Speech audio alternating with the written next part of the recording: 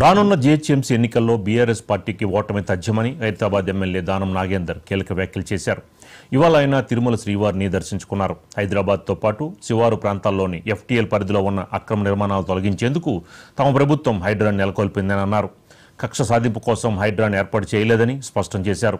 Serilingampally MLA Arikepudi గాంధీపై ప్రాంతీయ విభేదాలను రెచ్చగొడుతూ MLA Kaushik Reddy చేసిన అనుచిత వ్యాఖ్యలు సరికాదని అన్నారు.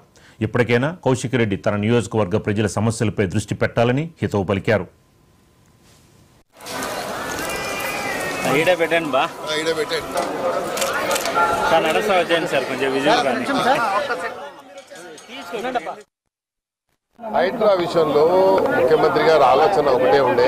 ఏవైతే చెరువులు అన్యాక్రాంతమయ్యాయో టీఎల్ ప్రాంతంలో ఉన్నటువంటి ఆ ప్రాంతాలన్నీ కూడా మరి అన్ని కూడా కబ్జాకు గురైనాయి కాబట్టి హైడ్రా అనేది తీసుకొచ్చారు. మొన్న హైకోర్టు ఇచ్చినటువంటి ఆదేశాల మేరకు హైడ్రాలో ఇంకా ఏ రకంగా చర్యలు తీసుకోవాలి అని అన్యాక్రాంతమైనటువంటి అవన్నీ ప్రాంతాల్లో ఉన్న వారికి వేరే ఆల్టర్నేట్గా ఆలోచించి తప్పకుండా ఎలాంటి ఇబ్బంది లేకుండా హైడ్రా అనేది రాష్ట్ర ప్రజల యొక్క శ్రేయస్సు గురించే ముఖ్యమంత్రి గారు పెట్టడం చెప్పింది తప్ప ఎవరు వ్యక్తిగతంగా ఉన్న కక్ష సాధింపు గురించి ప్రజా సమస్యల మీద ఆలోచించి మాట్లాడాలి.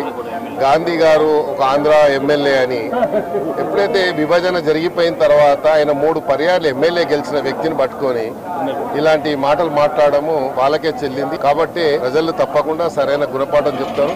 ఆంధ్ర తెలంగాణ అన్నటువంటి ఒక విభేదాలు ఇంకా మనము పుట్టించి అక్కడ ఉన్నటువంటి వాళ్ళందరినీ ఒక భయాందోళనకు గురి చేసేటువంటి కుట్ర జరుగుతుందో దాని మీద తప్పకుండా ప్రభుత్వం చర్య తీసుకుంటుంది. చెప్తారు కార్పొరేషన్లో ప్రజలు తప్పకుండా జవాబు చెప్తారు.